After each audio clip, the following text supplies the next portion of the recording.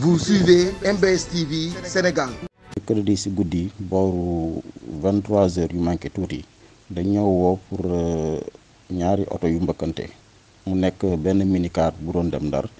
ak benn oto 4x4 bu gendarmerie boo xam ni day faral di def ay patrouille ñu ñu ñu engagé lu tollook trois ambulances médicalisées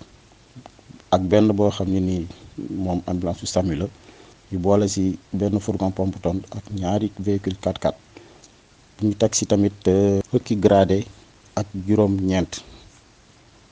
yoo xam ne nii am na ñetti officiers yu si bokk. Donc loolu ñu boole yëpp moom moo tax ñu mën a prendre en charge victimes yi. Ñu tolloog si 22 victimes mu ñaar fukki victimes donc ak ñaar. Am na si fukki yoo xam ne nag ñoom xaw nañ sonn tuuti ak fukk ak ñaar yoo xam ne nii seen gaañ gaañu ay gaañ gaañu yu yemamaay lañ am bu ñu leen ñoom ñëpp ñu leen. ak ambulance yi ñoom à l'hôpital régional de Saint-Louis dans la soirée du mercredi 28 août 2024 vers les coups de 22h55